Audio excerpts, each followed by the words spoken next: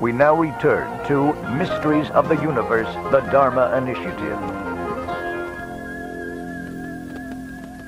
A church, normally a place for worship, not a place of scandal.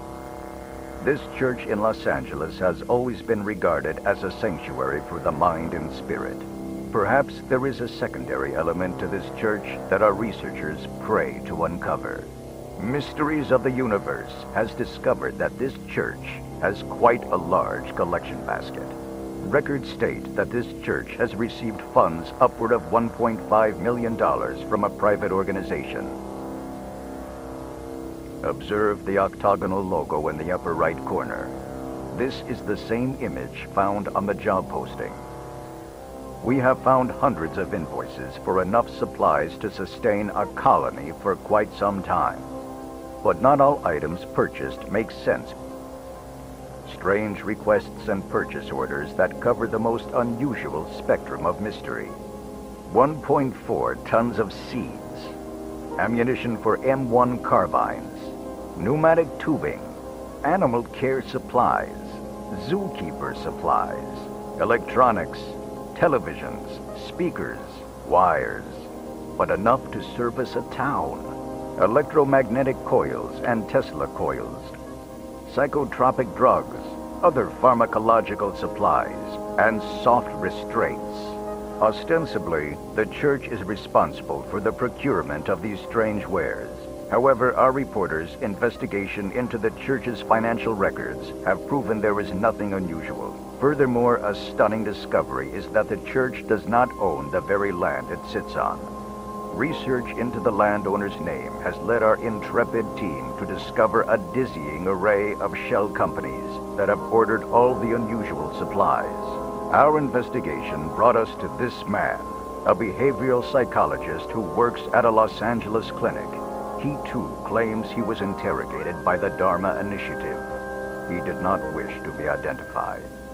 My name is. I am a behavioral psychologist with a strong background in pharmacology. The interviews were intense. They also interviewed my colleague.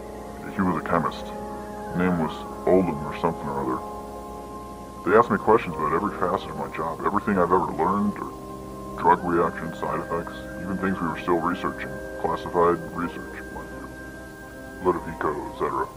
The Ludovico technique. It's where a subject is repeatedly told a series of phrases or images, and upon repetition, the subject may eventually believe they are true. Some believe this may be called brainwashing.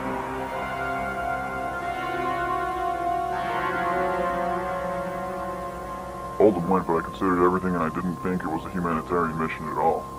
When it came to my ethics and values, it, it crossed the line. I thought it was a cult.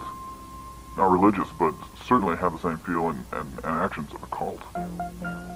Ammunition, drugs, tranquilizers, but perhaps the strangest of all, submarine fuel. What type of organization would maintain and operate a submarine fleet? Why would they need one? The only time a submarine is used for clandestine purposes and operations is to sneak in and out of contested waters under the cover of liquid night. During World War II, submarines were regularly used for transport to areas in the non-industrial locations in the South Pacific not suitable for large ships. Many of these vessels were lost at sea. But could they also be stolen or bought on the black market by the Dharma Initiative? Seemingly limitless resources and tendrils that touch every corner of society